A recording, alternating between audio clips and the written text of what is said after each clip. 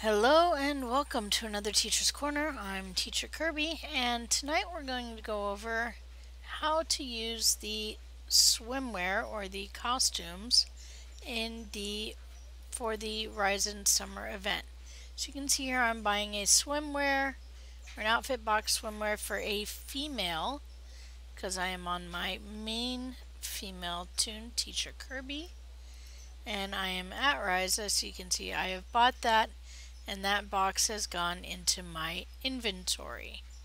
Okay, so now I'm going to head to the Risian Tailor.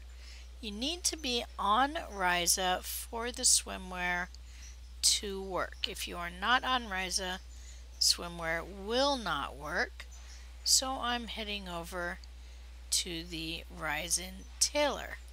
So I just flew over the Beeman point, so I'm to the right of it. And as you can see, here's the tailor right here. So I'm going to turn off my floater.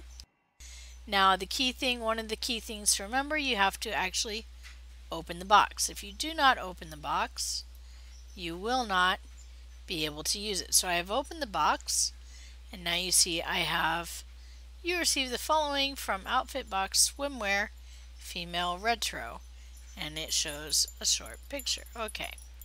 So now I'm going to go OK and I'm going to customize clothing. Again, I'm at the Risian Tailor, so now I'm going to hit Tailor and it brings me into the tailor. I want to do an a off-duty outfit, so I'm going to hit Create and it gives me some options. I'm actually going to skip forward. I don't want this. Okay, so I want to go to uniform and I want to pick, no it's not giving me, okay up here in the top right where it says off duty, I don't want off duty, I want to click beachwear separates because that's what I want to choose from. I want the beachwear separates and now it gives me, you see the options from what I bought. So I can do standard gray tank top or I can do the swimsuit top retro. And I like the way that looks, bit of a slave girl look.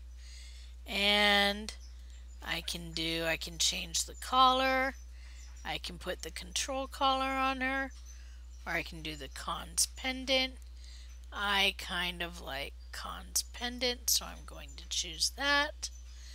And I can choose the belt, none or formal. I like the formal, so I'm going to pick that.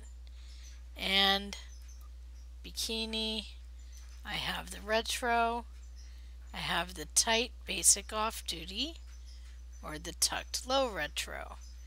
And I need to actually pull back a bit to get the full.